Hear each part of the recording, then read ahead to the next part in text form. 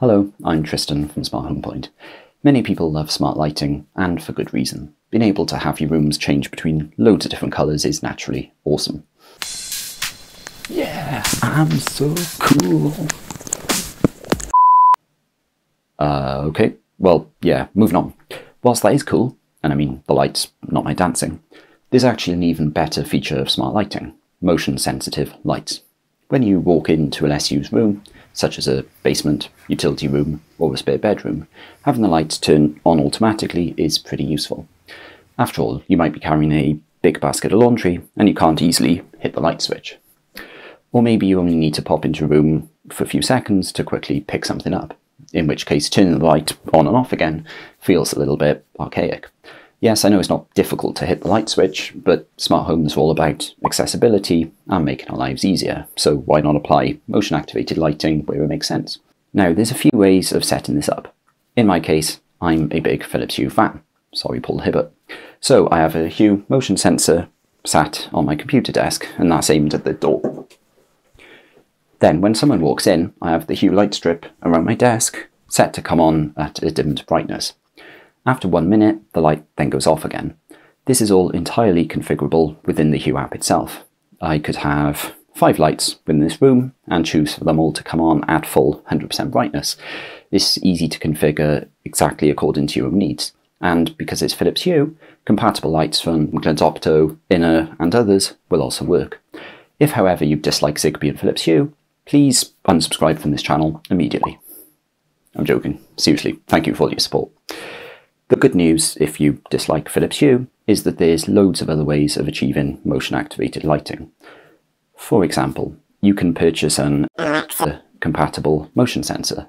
Uh, SwitchBot, Broadlink and Shelly all spring to mind, although an Echo Flex with the motion attachment will also work fine. You can then set up a routine within the app on your phone. Routines have two main parts, the trigger and the action or set of actions. The trigger is what sets off the actions. So in this case, you can set the trigger to be smart home, and then you can choose your motion sensing device. Select when motion is detected, and then for your actions, you just need to choose the smart lights that you want to turn on. You could just select one light or multiple lights. You can also choose the colour and the brightness too, of course. You'll probably want the lights to go off automatically too. To do this, add another action and choose wait specify the wait time, and then go back and add more actions to turn off the lights you chose previously, and this time choose power off. This approach is clearly more clunky than with Philips Hue, but it still works well and the platform supports a lot more devices than Philips Hue. Heck, you could actually use an indoor smart camera as the routine trigger instead of using a motion sensor. There's lots of choice here. If you hate both Philips Hue and Amazon Alexa, you can also purchase smart switches that have built-in motion sensors.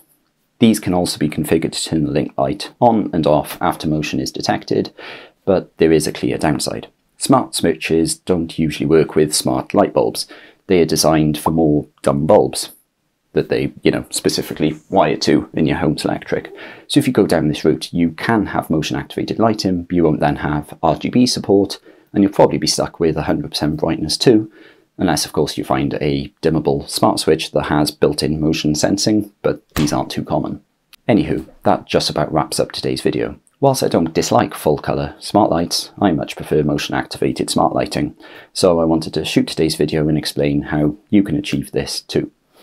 I hope you enjoyed this video. If you did, please click the thumbs up button, which will tell YouTube that more people should watch this video. Please also consider subscribing to my channel if you aren't already, and pressing the little bell icon which will notify you when I release new videos. Thank you.